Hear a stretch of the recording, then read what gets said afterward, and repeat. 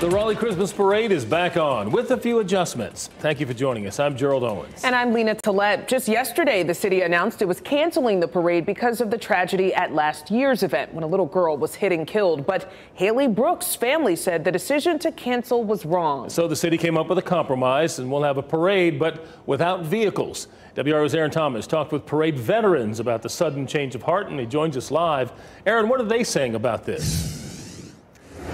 Gerald, Lena, this is a big deal. Whether you're a member of the band or you're a dance performer, this is often the largest uh, performance that a lot of these performers get to take part in here in downtown Raleigh. Those groups that we spoke with say that they're willing to make this compromise, even if it means no vehicles on the streets.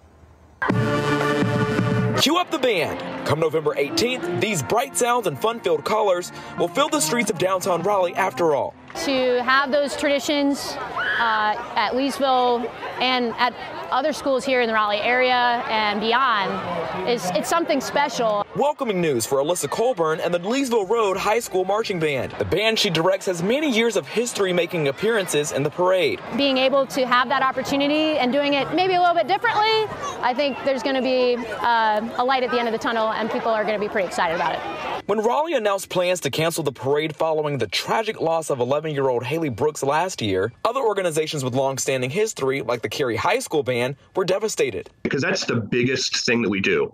That's the biggest, biggest crowd. It's easily what, like hundreds of thousands of people are there. And so the kids eh, love that exposure and they love you know marching through downtown. It's a it's a great ambiance and the kids actually enjoy it. Performers of all kinds now get to enjoy the long-standing tradition once again just without vehicles in the lineup. This was the best resolution. Uh, maybe vehicles never needed to be there so that that's fine but let the kids be kids and have their, their opportunity to shine. A resolution giving parents a chance to see their children take their talents from the field to the streets in November.